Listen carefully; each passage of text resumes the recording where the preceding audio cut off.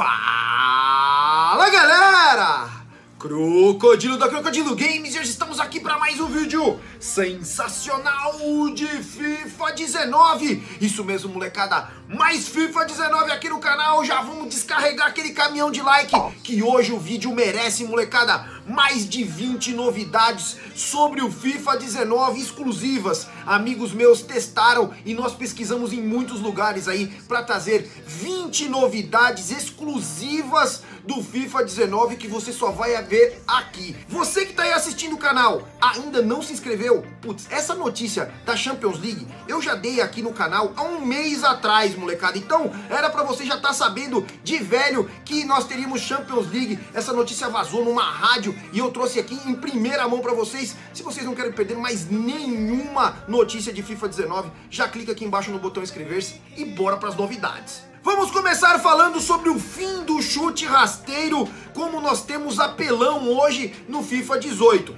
Muitos sabem, eu já fiz até um vídeo aqui, provavelmente ele está rolando na tela aí, vocês assistindo agora, um tutorial explicando como fazer um chute indefensável. O chute rasteiro nesse FIFA 18 está muito apelão e no FIFA 19 ele foi praticamente boicotado. Tiraram ele do jogo, agora para você fazer um chute rasteiro, no Playstation você vai ter que segurar R1 mais L1 para que esse chute saia rasteiro. Acabou agora aquele negócio de você apertar duas vezes a bolinha para o chute sair rasteiro ou duas vezes o B, no caso do Xbox. A bola saía meio rasteiro comendo a grama, o goleiro de vez ir com a mão aqui no FIFA 18, ele tentava ir com o pé e a bola morria no cantinho. Às vezes eram chutes muito fracos que a bola passava e o goleiro não conseguia defender. Acabou isso no FIFA 19. Novidade número 2, molecada. Lembrando que esse chute rasteiro também pode ser dado agora em cobranças de falta. Você segurando o L1 mais o R1, essa bola vai sair rasteira também nas cobranças de falta. Mais uma novidade é que nós temos agora nas cobranças de falta também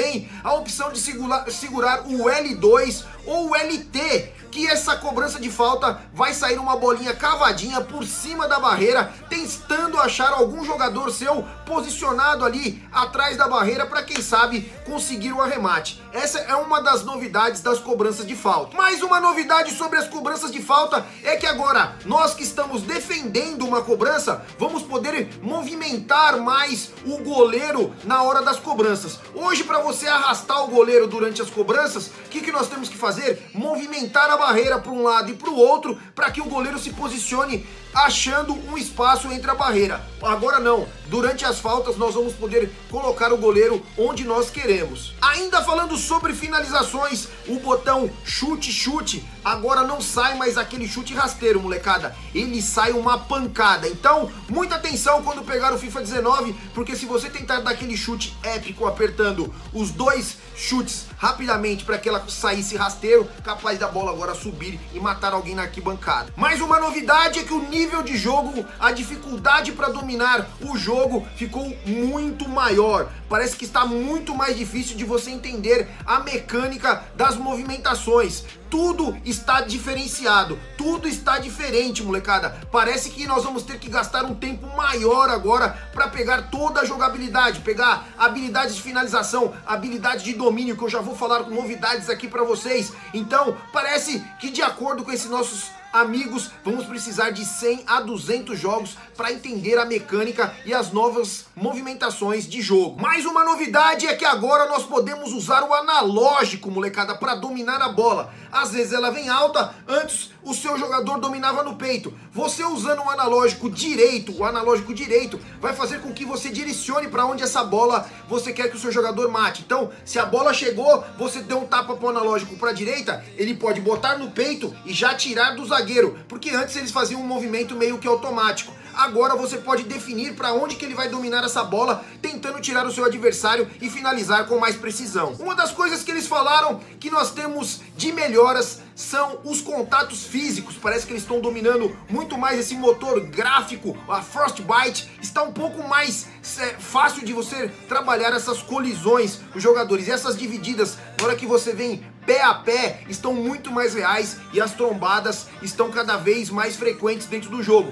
Tomara que eles consigam nivelar isso para que não aconteça muitas trombadas dentro da área ou o goleiro trombando como vimos nesse FIFA 18. Mais uma novidade é que agora nós temos a opção do analógico ali para cima e para baixo, que nós escolhíamos ah, se o time queria fazer linha de impedimento ou se nós queríamos mudar algumas posições dos jogadores. Parece que agora quando você der um toque para cima, nós vamos selecionar opções de ataque do nosso time. Então, você dá um toquezinho para cima, vai subir o menuzinho só com opções para você mexer no ataque. Se você der um toquinho para baixo, vamos trabalhar só com opções de defesa. E não é só isso, molecada. Usando os analógicos para trás e para frente, você vai poder definir táticas personalizadas para defesa e para ataque. Resumindo, você pode defender com cinco zagueiros e, e atacar na 4-3-3 tudo com táticas personalizadas de acordo com o seu gosto. Segundo informações, temos muitos novos dribles.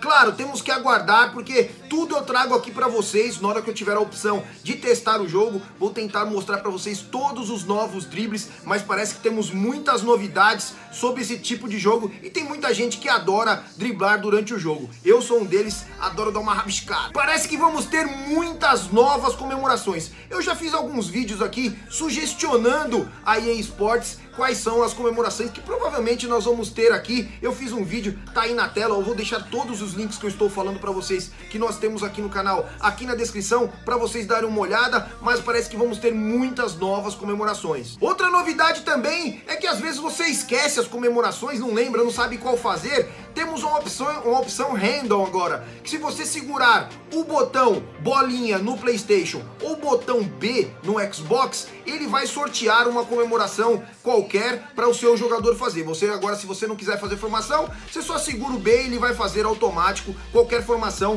que for sorteada. Parece que as torcidas estão muito mais reais. Eles vêm melhorando isso ao com o tempo e as coisas vêm melhorando demais. Antes nós tínhamos um papelão e agora a movimentação tá toda diferente diferenciada, nós temos papéis picados, tudo muito legal. Nós já vimos no trailer aí um telão aí como se fosse um jogador do Cristiano Ronaldo subindo. Já temos outras imagens do Del Piero também com o mesmo assim, vai ser muito top. E agora essa toda essa interatividade vai fazer com que o jogo fique cada vez mais real. Adoro essas opções de torcida que nós temos nos estádios. Outra coisa que acabou, molecada, eu tenho até um tutorial aqui do FIFA 17, eu fiz um também do, do, do FIFA 18, que era um tutorial de como você nunca perder pênalti. Tem um bugzinho no FIFA que você bate sempre ali e o goleiro passa por cima da bola. Quando ele pula, a bola passa por baixo do braço dele. Então, essa opção foi corrigida. Agora nós temos três opções de salto para um lado e três opções de salto para o outro. Parece que agora quando você chuta e a bola ameaça passar por baixo do goleiro, ele tem um reflexo, que é esticar a mão assim e dar um tapa nela. Ou ir com o corpo, ou ir com a perna e defender essa bola. Essa bola não está mais passando por baixo. Isso é uma grande é, evolução, porque ultimamente os pênaltis no FIFA estão dando uma mancada gigantesca. Porque se você bater daquele jeito, com aquela força que a bola vai devagarzinho, sempre ela passa por baixo do, jogo, do goleiro ou bate no goleiro e entra, molecada. Então, parece que esse bug foi corrigido e nós temos os pênaltis um pouco melhorados. Para quem jogou, jogou pouco ainda, molecada, mas sentiu o jogo mais fluido, o jogo mais fácil de você fazer alguns movimentos que estavam muito mais difíceis mudanças de direção, ou às vezes para tocar a bola você precisa virar o boneco para tocar essa bola. E às vezes jogadores mais habilidosos não precisam disso. O Messi, se ele tá correndo para cá, ele viu um cara passando aqui, ele mete sem olhar mesmo, ele não precisa girar o corpo para que esse passe aconteça. Parece que tá muito mais fluido, muito mais interessante de jogar o FIFA 19. Outra novidade que nós temos é no tiro de meta, parece que a câmera está um pouco mais alta,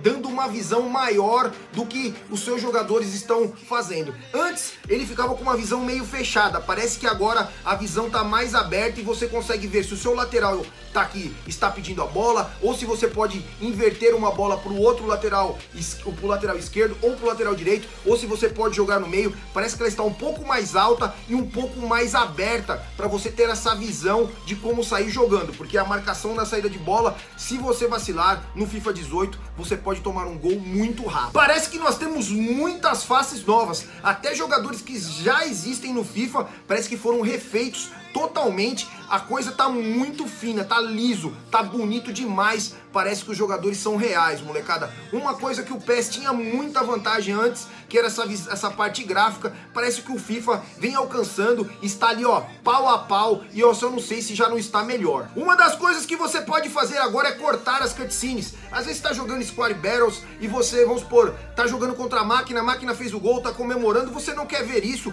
você corta. Claro, se você estiver jogando online e o seu adversário fez o gol, você vai ter que esperar ele habilitar essa opção. Segurando R1 e L1, os dois ao mesmo tempo, você corta essa cutscene. Claro, se o adversário quiser assistir, vai ter que assistir de qualquer jeito. Mas se você estiver jogando contra a máquina, a qualquer momento você pode cortar essa cutscene. Então, molecada, é só ficar de olho. Espero que vocês tenham gostado demais desse vídeo aqui. Espero contar com seus 5 mil likes aí, molecada. Vamos ver se a gente bate 5 mil likes para fortalecer. Obrigado você que assistiu até agora.